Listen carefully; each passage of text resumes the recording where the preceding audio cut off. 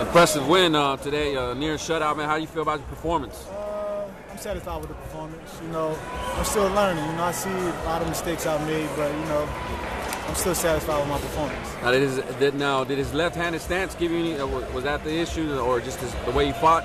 Um, you know, orthodox fighters and fighting uh, southpaw fighters, it's always kind of uh, difficult at times.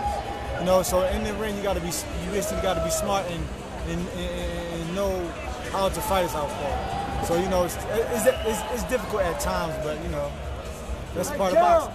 Go. What's next?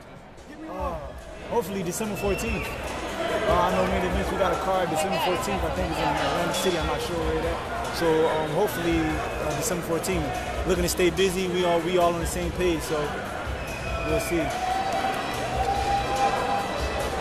How'd you feel about uh like uh your, your support from Philly, man? Philly was definitely in the house today. Oh yeah, man. You know, uh, Philly Philly support Philly. You know, man.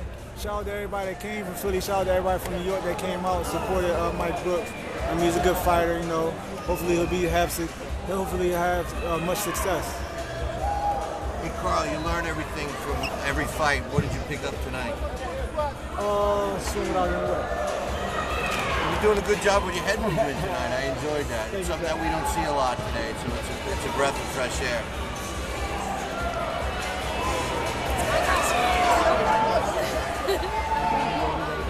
Anybody? oh yeah, man. What's up with that, man? You shaved the beard, man. What's up with that? Yeah, the doctor told me. He said, you know, you know, um, hair can be rough on your opponent's skin. Okay you know, it, it, it, it can uh, bruise the uh, opponent's skin and he can get cut easily. So they prefer you to cut it down when you fight. Oh man, damn! So they made you say you had it, you had that going on for a while. Yeah, I was gonna cut it anyway though. All right. I was gonna cut it anyway, so you know. So they, they cut, they made you cut that yesterday after the weigh-in or today? No, uh, I actually cut it earlier today. Oh but, man. Uh, actually, uh, I had Steve Cunningham. That's my barber. Steve uh, Cunningham, my barber. Well, there you go, man. Two for one. Homie and a barber. You know, actually gave him the win. When you're in a fight like that, and you know, by the sixth round, we kind of knew, you know, you were having your way with him and whatnot. Was there ever a point when you know you were kind of thinking about really stepping on the gas and going for uh, for the knockout at that point? Were you you know kind of? I'll be watching. I'll be watching. Um, of course, I wanted to show. You know, I never really seen anyone really back him up. You know, so I just wanted to show them that I could be I could be aggressive too. So you know, I try like, and I see that when he's backing up, he's uncomfortable. When he's uncomfortable, he can't perform or fight like he wants to.